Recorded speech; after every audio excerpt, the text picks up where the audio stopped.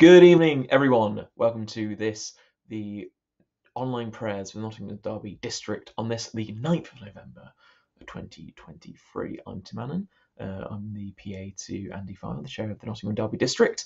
I'd like to welcome you to this, the online prayers. Um, little insight into how I normally do prayers.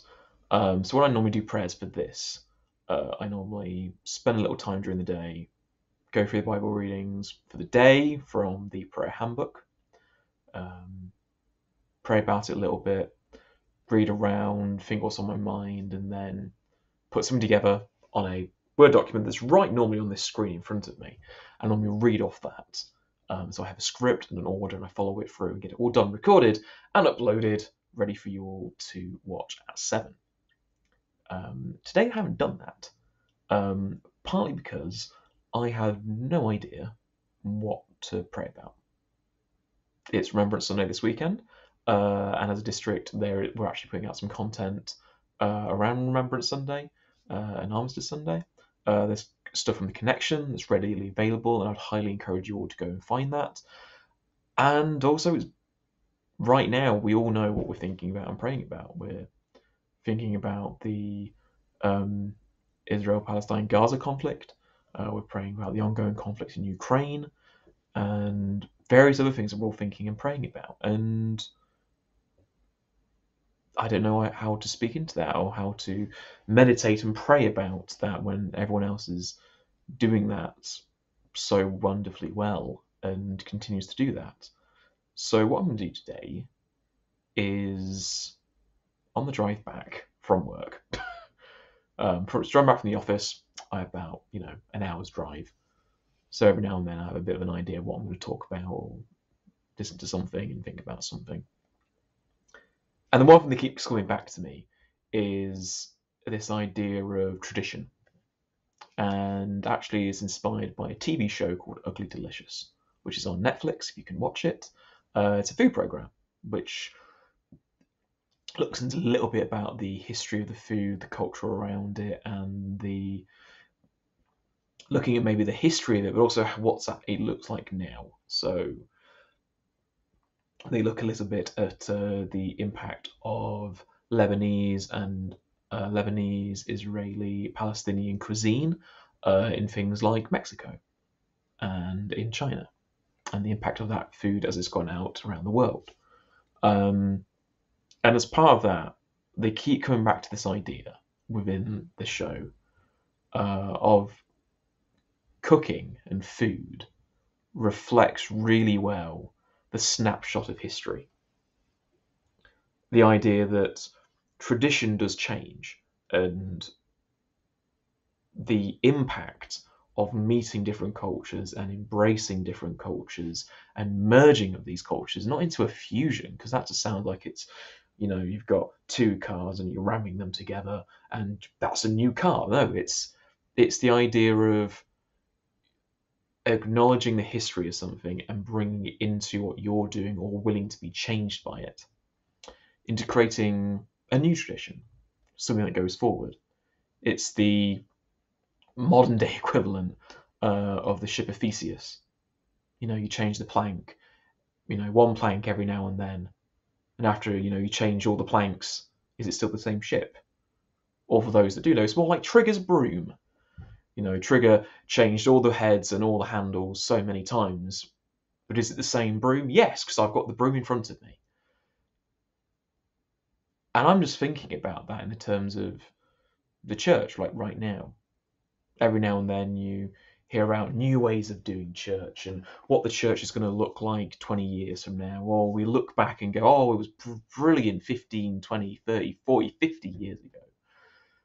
And we always hear the idea, oh, church is in decline, it's not going to be around, and I think it will be. And not because, you know, I like to be employed by a church or preaching in a church or surrounded by a community of faith. No, I, I think that right now we're seeing a snapshot of churches.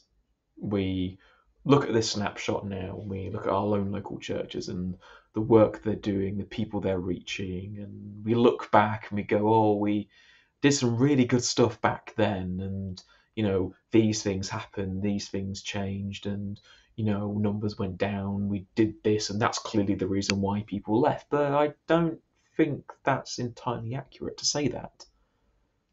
I think if you go back to say 1932, because that's when um, uh, the two main branches of Methodists in the UK, the Primitives and the Wesleyans, formed together into the now Methodist Church of Great Britain. There were people at the time who were gone, nah, this joining at Malarkey, it's not going to work. It's going to change completely how we do church, how we do theology, and the church is going to decline and fall, and we're not going to be around. Or it's going to have what we have now, where the church has been adapting and changing to changes in society, changes in culture, changes in people, just as every other civilization has done, just as every other organization has done, just as food has done. And I think that going forward is the kind of thing that we're going to see embracing more. And I hope that we're embracing more. This idea that we have this open heart, that we are willing to be changed by the people we see around us and the people that come into our church doors. Or even that we are willing to go out and be changed by the people we encounter on the street. That the new church project that you're planning to do that it's you're not doing it for the people you're doing it with people and that that will change you and the church for the better the same way that I've had too many conversations with people about how online church is either the best thing ever or the worst thing ever. That people aren't coming to physical church because they're coming online and oh that's not good. Yet we're engaging right now. You're watching this video. You are engaging in prayer in a prayer in a time of prayer and contemplation which you can do at any time god is not just physically present in a single place at a single time god is present always in whatever we are doing and sometimes we need to take that moment to look and think take that snapshot of where we are. Just as the ship of Theseus was a snapshot of where that is at that time, and it's still there, and it's still going to be the ship of Theseus in years' time. I see the Methodist Church now as a snapshot of tradition. We look, we in like 10, 15 years' time, we're going to look back at where we are now, and we're going to say this is probably it was a much better time. We have this, we have that you know, we endured hardships because of COVID, and here we are now. But there's going to be people in 10, 15 years' time looking back and going, oh, it was so much better. Just as there are people now looking back and going, oh, it was so much better 30 years ago. Just as there was people 30 years ago saying, oh, it was much better 30 years before that. We're going to be changed by tradition, and our tradition is going to change. We're still going to call it tradition, and that's good. we just have to go into this with the open heartedness that we sometimes forget. We have to be willing to go into situations which we're going to find uncomfortable. We have to be willing to go into situations where we don't have the answers and we don't know what's best. We have to be willing to go into situations and go with a, heart and mind that we're going to learn something new and that we're going to encounter God in these spaces. That's my prayer, my reflection, my contemplation, whatever you want to call it, for today, and this has been on my mind. I feel that going forward, there's going to be conversations about this anyway, and then act, you should actively have these conversations with people in your church.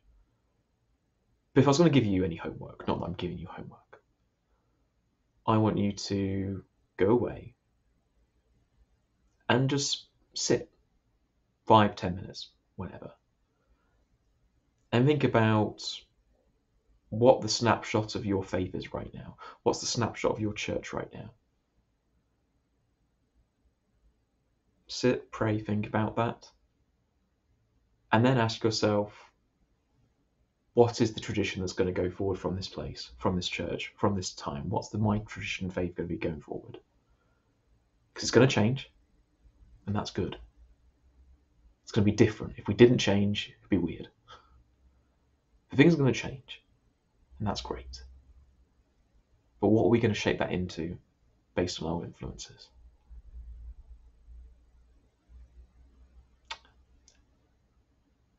Amen. Thank you for joining this weird contemplation, reflection, whatever you want to call it, prayer. Um, really appreciate you all being here. Um, we'll be back next week. Look forward to seeing you all then. Good night, everyone.